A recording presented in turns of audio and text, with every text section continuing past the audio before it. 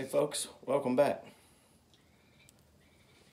Had a little cool snap here in the foothills of East Tennessee this morning, 52 degrees, but after watching ATO's recent video, I don't feel too bad. But, uh, getting the fire going in my old barrel stove here. And uh, good thing that I'm sub to Joe Bishop's Backwoods Survival. Was I learned how to build a fire from watching his videos.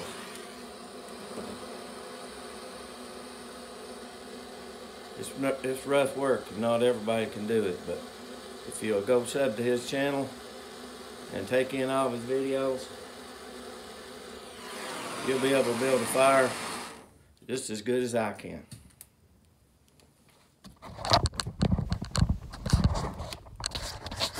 Appreciate y'all stopping by. Everybody stay safe and warm.